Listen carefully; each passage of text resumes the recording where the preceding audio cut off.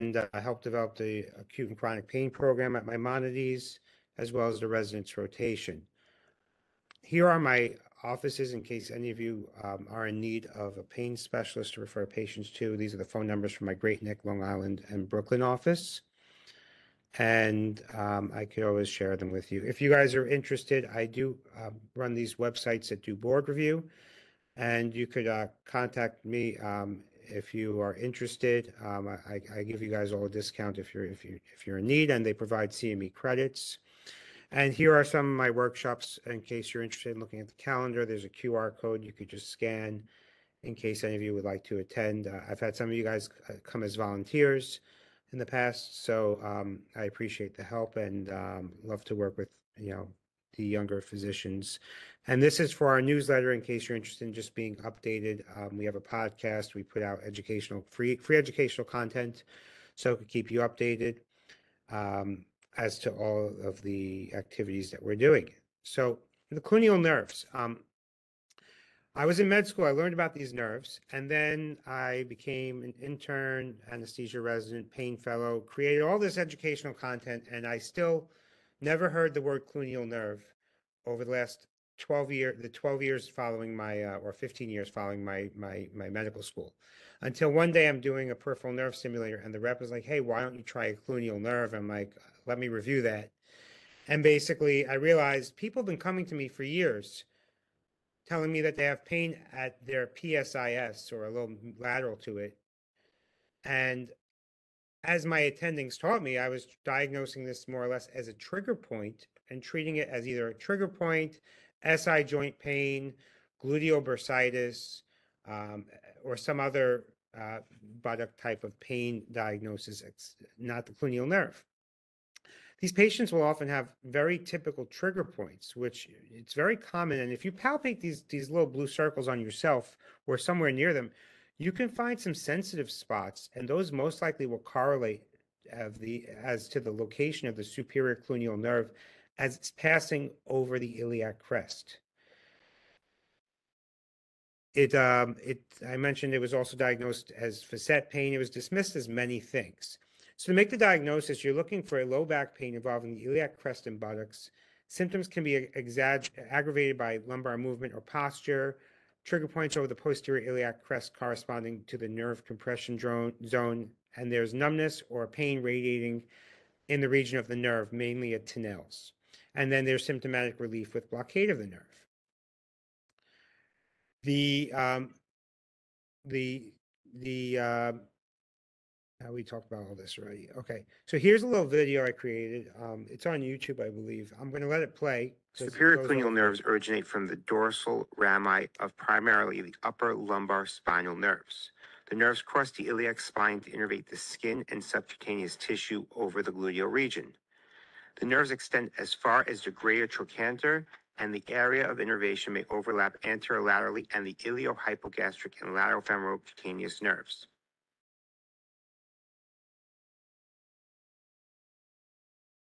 A reliable nerve block technique may have the application in the management of postoperative hip pain surgery as well as other clinical conditions, for example, chronic low back pain. This superior cluneal nerve block will anesthetize the skin posterior to the area innervated by the iliohypogastric and subcostal nerves, improving anesthetic coverage for hip surgery.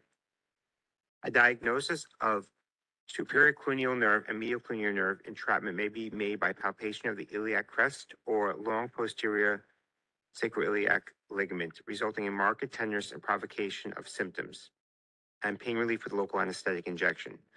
The superior cluneal nerve tender point on the posterior iliac crest is approximately 70 millimeters from the midline and 45 millimeters from the posterior superior iliac spine. And the osteocomponent of this tunnel is the rim iliac crest, and the fibrous component is the tough thoracolumbar fascia. Now that's the medial branch of the superior cluneal nerve.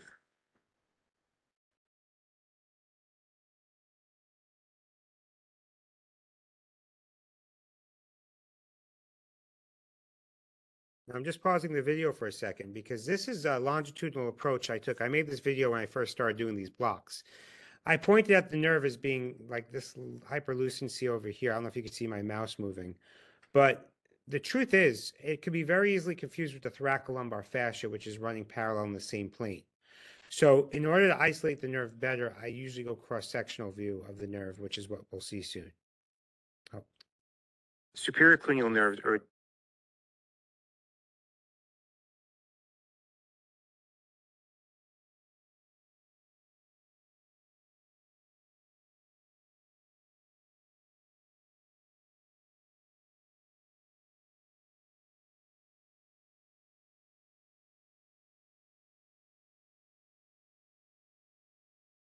Now, this is a patient who originally had a sacroiliac joint injection as well as gluteal trigger points, gluteal bursa injection without any long-term relief.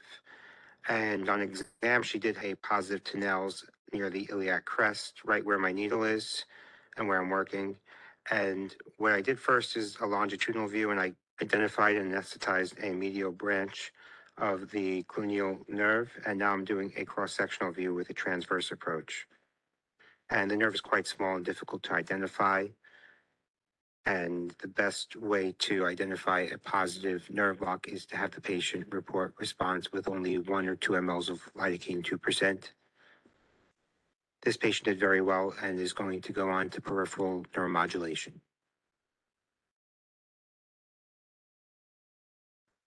This patient had a laminectomy and axial pain to the right side, radiating to the buttock and hip.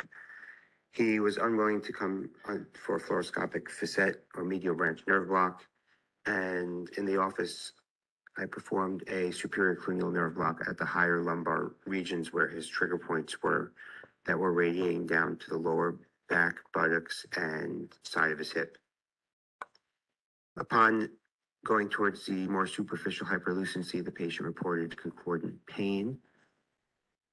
Upon redirecting the needle and depositing 1 ml of lidocaine, 2%, at the deeper trigger point or hyperlucent spot, the patient reported pain that correlated exactly with the superior cluneal nerve distribution.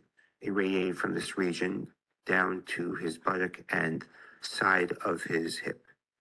Patient reported immediate pain relief and is to be followed up in the office for possible repeat injection or maybe peripheral neuromodulation in the future. So this is uh, another video, short video, where you see me tracing a spinal cord stimulator lead uh, down towards the actual stimulator. Um, and that's the hyperlucency with the shadow behind it. And I'm running a um, uh, 25 gauge um, um, needle underneath um, the wire to get to the um, to the nerve, which is a low hyperlucency here. Now, there's a lot of white specks here that could be the nerve. And honestly, it's difficult to tell, and I always question myself. Um, the best way, I, the best experience I have where I could say that I'm really on the nerve is I've done peripheral neuromodulation. You stimulate the nerve, and the patient will get paresthesias with with with um with the with the nerve stimulator. Here's another. He's had the medial, middle, and lower branch blocked with excellent relief short term, and now he's here for a cryo ablation for the long term treatment of his pain. So, Mike, I'm going to look for the first nerve first, which is over here, and we're going to work our way lateral, okay? So, on the ultrasound, you can see the posterior superior iliac spine coming into view. And just lateral to that, the hyperlucent structure is the superior cluneal nerve medial branch. Spray with some vapor coolant spray and anesthetize the skin. Go pinch, Michael.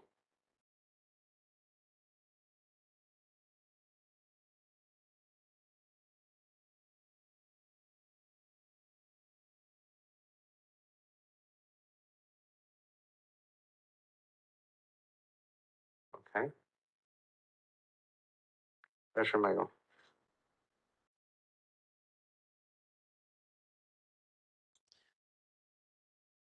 Right there. The needle's right here. Little hard to see. Even though it's a very large needle, it's not the most hyperlucid needle.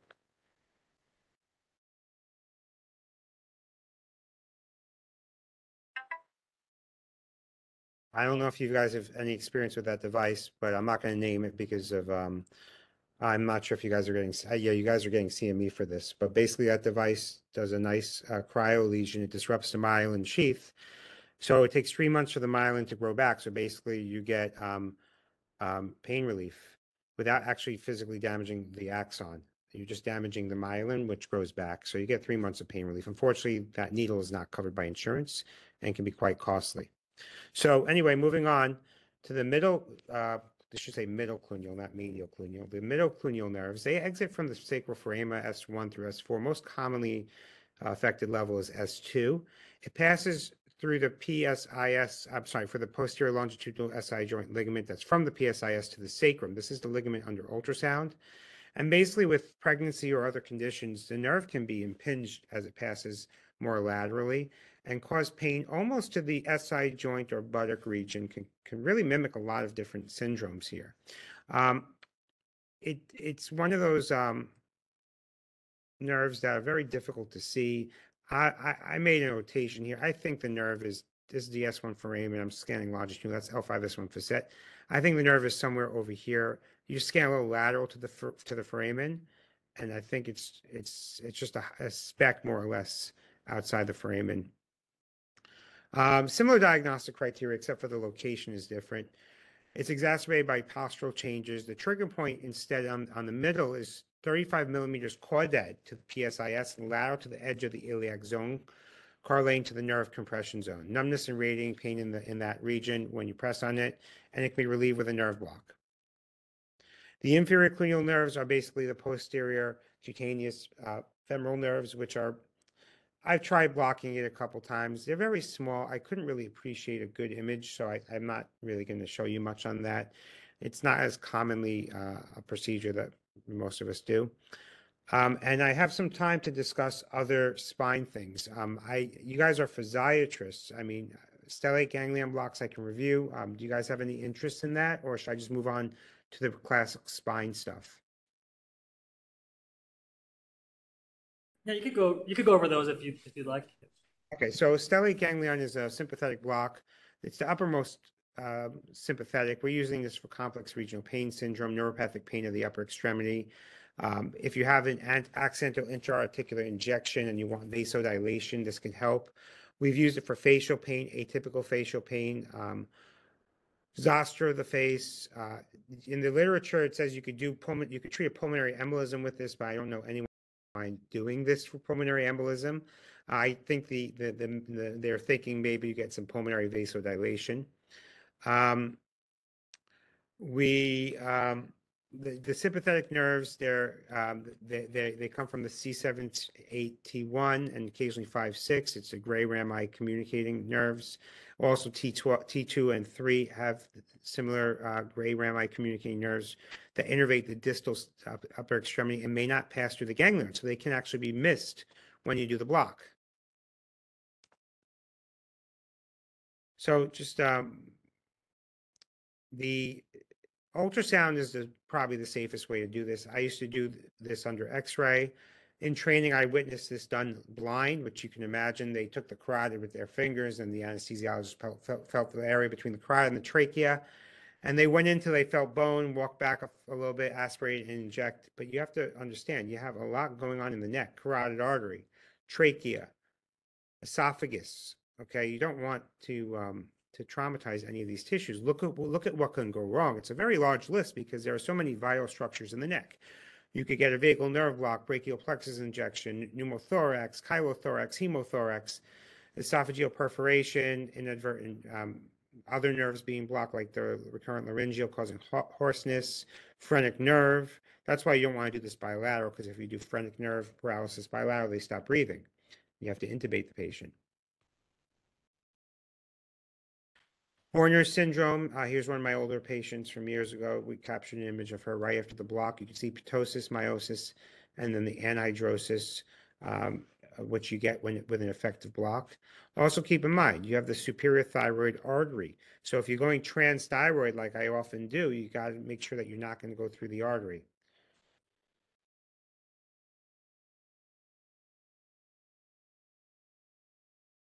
Okay, here's uh, an image of the patient swallowing, and you see the esophagus right over here, right there. You see that? So you don't want to do this shot you know, you do under x-ray and then you get an esophagram, that's a little too late. That's why I like ultrasound, because you can see all these vital structures and avoid them. This is a cartoon of what it looks like to come from the lateral approach. You need to watch out for the brachial plexus. If you come medially, you uh, go through the thyroid and hopefully you're in the clear. Picture of the lateral approach. Here's your thyroid. The trachea is off over here to the center. Sternocleidomastoid has that long tapered appearance, which is very classic. Here's another image. You're injecting on top of the longus colli muscle and right where the ganglion is posterior to the carotid artery.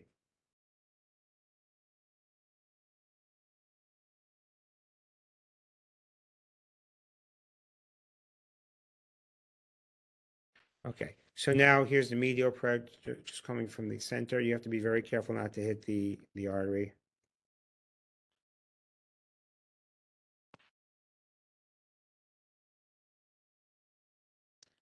It's a little movie of a stellate ganglion block. I'm coming with two different machines in this movie. It's two separate clips of different patients. There's the superior thyroid artery.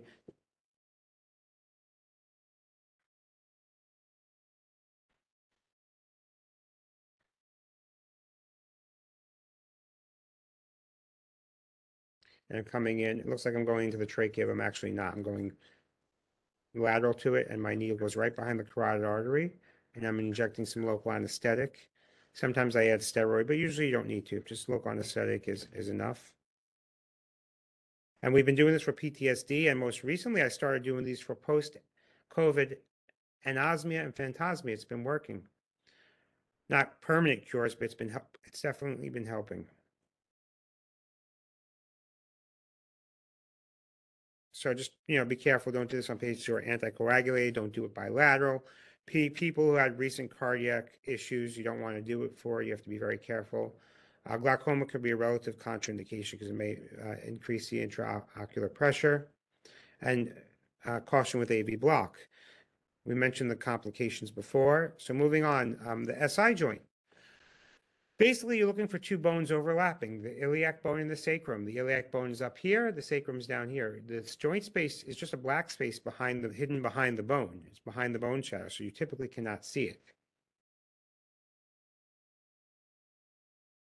Here's a facet joint injection. It's the needle coming in. This is a low frequency ultrasound probe. So it's curved. You can get deeper structures.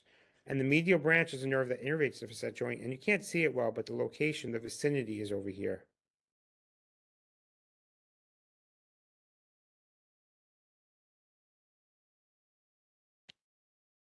And here's an image of the L5S1 facet joint. You're not seeing the joint space opening, but this is the bone and the capsules around it. So you could theoretically put a needle right here and give the patient good relief. Now, the payers are not paying for us to do this shot, so most people are not doing it. Just not a covered procedure. The dorsal ramus is the nerve there. You can't very see very well, but this is the location of it. So if you want to do the nerve block, that's where you would do it. The uh, cross section of the vertebral body looks like a chair. The spinous process is the back of the chair. The lamina is where you put your tush. The facet joint is the angle where your knees would, would rest over, and then your feet would go back to down, sit on the transverse process. Here's an opening of the facet joint under ultrasound. Here's an image of it. This image looks better than the last one because this is of a nine-year-old. Kids, the spine is a lot easier to see. Transverse process, medial branch target zone, which this white somewhere over here could be medial branch, joint and capsule.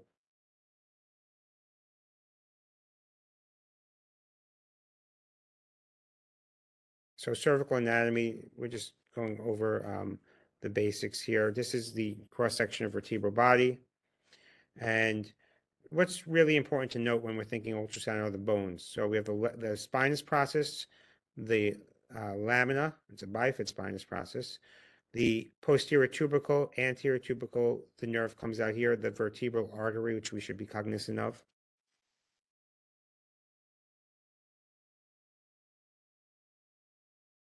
Now, lo- locating the brachial plexus, which is really how you could find and trace back the, the nerves of the neck.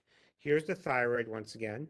Here's the carotid artery. I do a lot of extraforaminal nerve root injections because I don't want to do epidurals. I don't think they're necessary for everyone with cervical radic. So I see the brachial plexus This is the interscalene brachial plexus that us anesthesiologists anesthetize all the time for shoulder surgeries. I'm tracing the nerves back as they disappear to the foramen C5, C6, C7, usually. This is C6.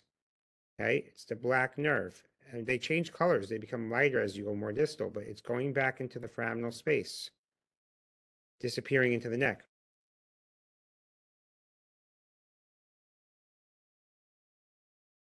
Okay, here's my needle. Uh, here's a better picture. Here's the vertebral artery. No fly zone, right? That's the articular pillar. That's not really the posterior tubercle. Posterior tubercle you don't see as well here. Need to fix that. Here's the is the vertebral artery again. Artery. And the sternocleidomastoid muscle at the top. You see the anterior and posterior tubercles. And the C6 nerve can be followed down as you go towards the interscalene brachial plexus, then coming back up and posterior towards the foramen as it enters the foramen. And back down again.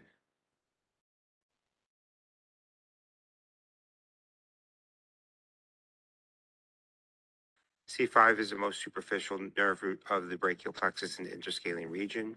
Here we have the carotid and vertebral artery as it transitions posteriorly towards the foramen. Note it's hypoechoic, just like the nerve, and it's running posterior. The C6 nerve is also hypoechoic and is more lateral at this point. Injecting in the cervical region can be easy but challenging at times. It's important to understand where the blood vessel lies as well as the neuroanatomy and other vital structures in the neck. My recommendation is to use dexamethasone or a non-particulate steroid to avoid vascular embolization or vasospasm from intraarterial injection, as well as to hydrodissect a little bit if possible and safe watch your medication spread. Sometimes the needle does not need to be directly next to the nerve root or the nerve. Sometimes you can be a few millimeters away and the medication will diffuse onto the nerve and therefore you will decrease the risk of the needle contacting the nerve or causing more discomfort for the patient. There are times when my needle is close to the articular pillar and I see the medication diffuse towards the foramen or towards the nerve, and usually that's adequate.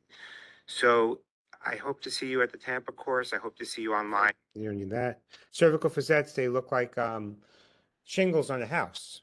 Okay, you see, it's just like a shingled appearance on the ultrasound. I used to do a lot of these, but um, I find it easier and more effective than medial branch nerve blocks. Um, and um, so I do it that way. These are the medial branch nerves. They come off the exiting nerve root and they loop around to get the facet joints. They run on the articular pillars, these rhomboids right here. So when you're looking at it with a lateral view, your target is right where my red dot is for the medial branch nerves. Going on the ultrasound, you can see a hyperlucency. Um, this is coming from lateral, but it's actually very obvious when you're doing an oblique uh, ultrasound image and you're getting the nerve on the bone. Sometimes the problem is you have to go out of plane. It's a little challenging to get to get the needle over there. Uh, epidurals, um, Medicare will not pay for them unless the patient's pregnant or there is an issue with um, anticoagulation. Um, we use it for lumbar radiculopathy. Uh, they're very good uh, to avoid um, lumbar punctures. Um, post-operative patients, people with failed back, and you want to avoid hardware. Here's a little video on it. And by the way, most of my videos are on YouTube. So if you just go to YouTube and type in pain exam, you'll see my channel or maybe put my name in and, and you'll get a whole bunch of videos. There's a sacral cornu, those those two hyperlucent structures. And this the sacrum's here, which is a cross-section view over the um over the uh region of the um bone. Now I'm turning 90 degrees. And that's the plane I'm scanning in parasagittal to see the cornu. And then to go sagittal to centrally to see the actual region of the of the epidural space.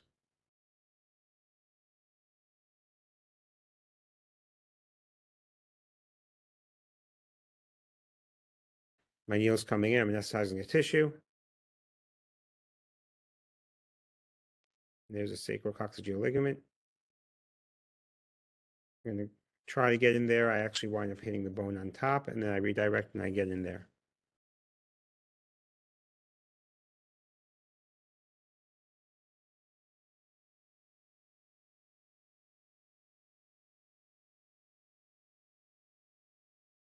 We're using a higher volume when we go here than a regular epidural to get the needle up to the spot of their issues L4-5. There's a lot more anterior spread with the caudal, so it's very good for many different conditions. Um, it helps a lot with spinal stenosis, um, radiculopathy, of course. Sympathetic nerves that come off the spine, they're running anterolateral body, superior hypogastrus. very hard to do with an ultrasound. Ganglion impar is doable, a little challenging. Here's an image of the sacral foramen, which can appear like this, or it could just appear as a bone gap. Um, sometimes there's some tissue around or I'm just skimming the edge with the ultrasound probe. That's why it looks like that. But usually when you do a cross section, if you turn the probe 90 degrees, you're looking at the same level as the PSIS. And here's uh, the region of the ganglion impar, which I have a video on YouTube. It's not here. Um, that's the whole lecture, actually. I just finished on time, it looks like. Um, do you guys have any questions? Hey, Dr. Rosenblum. Uh, this is Dr. Kaner. Uh, I'm I'm the one of the graduates 2020. Uh, thank you very much for the presentation. I have a quick question. Uh, what Sure. was the? I mean, I got my I got the code from the billing, but what is the exact coding CPT for cluneal nerve block? 64450, other peripheral nerve block. And you can add the ultrasound code, which is 76942. Uh, let me write it down. Six five four four zero. You said? 64450. And with the cluneal nerves, I mean, I did two of them today. I mean, I had one lady, she's failed back. She came in. The patient had pain at the iliac crest rating to the buttock, and um, it didn't look facetogenic. I'm sure there was a facetogenic component, but I didn't mention in the lecture. There is communication between the, the medial branch nerves and, and the cluneal nerves in many cases when they dissect out the cadavers. So it's just something to consider. Yeah. So for the residents' sake, I mean, I get a lot of lower back patients. I do rural medicine, inpatient, outpatient rehab, and I was doing a lot of you know lower deep, uh, deep muscle blocks, trigger points, things like that, and SI. But then I realized that actually wherever I inject around that PSIS region, they just come so happy, and every six That's months, right. four months, they just like they come with a walker, like bending, walking very slow, and then they leave. They literally extending, smiling. And then I have a friend actually who's doing pain mal- pain fellowship right now. He's a graduate from 2021 from our program. We asked this to one of the mentors in the field, and they told us about cluneal nerves. And I actually watched your videos, and since then I've been doing it like at least twice a week, and it's amazing how how much they find benefit. And It's crazy, right? Yes, absolutely. I think the awareness of this nerve should be relayed on the medicine and I mean the residency programs definitely more because I did a lot of ultrasound workshops. I was involved in spinal cord injury fellowship, whatnot. I did not hurt this nerve until I wasn't attending and just trying to figure out what's going on. So thank you very much for helping the residents for uh, you know such a thing. Yeah, you're right. It's it's completely underappreciated, and a lot of people don't know about it. Now you do. And if you look for it, you, I guarantee you'll find it. It could coexist with a lot of things. In fact, I've had people I did the nerve block on, and they said, "Oh wow, my leg pain got better. It mimics sciatica."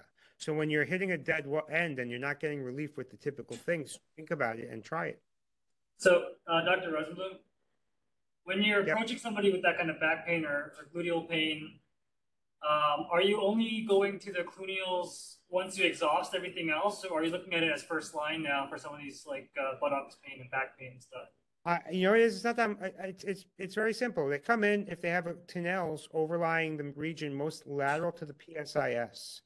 That's where the, the medial branch is.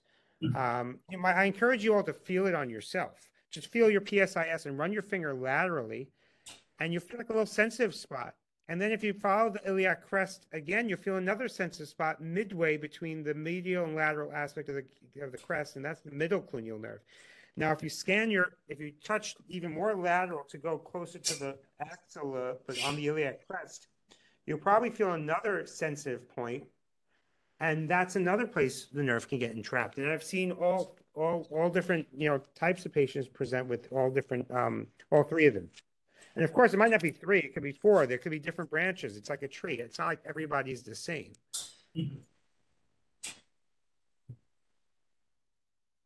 And I also want to add that that 70 millimeter, like seven centimeter from the midline, so the uh, middle cluneal nerve, guys.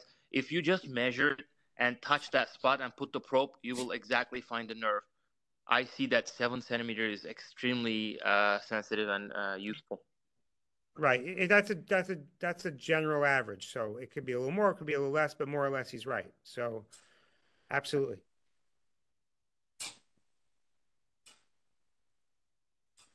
Well, any more questions? Um, Okay, well,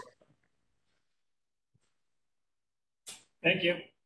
Thank you so much. thank you, thanks for your time, and, um, yep, I, I hope to hear from you guys, take care, Thanks.